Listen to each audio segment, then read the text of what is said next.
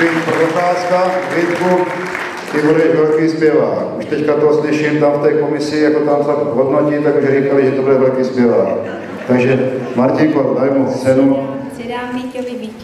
To je cena. Prosím vás, tyto meďoši, to jsou, to jsou meďoši firmy nábytek Bobík, pana Trubačíka z Hluku, který, to musím ho propagovat, protože nám tady dal těch meďošů a samozřejmě sponzoruje i toto video. Není tady mezi náma, ale uvidí to. Tak, máme tady další zpěvačku.